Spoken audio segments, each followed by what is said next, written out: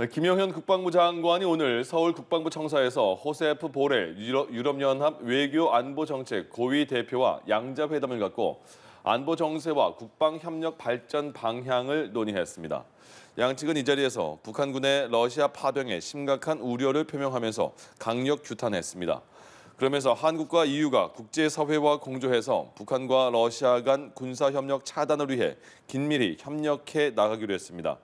조태열 외교부 장관도 외교부 청사에서 보렐 대표와 한 EU 전략 대화를 갖고 사이버, 대테러 안보와 공급망 등 협력을 꾀하는 한 EU 안보 방위 파트너십을 채택했습니다.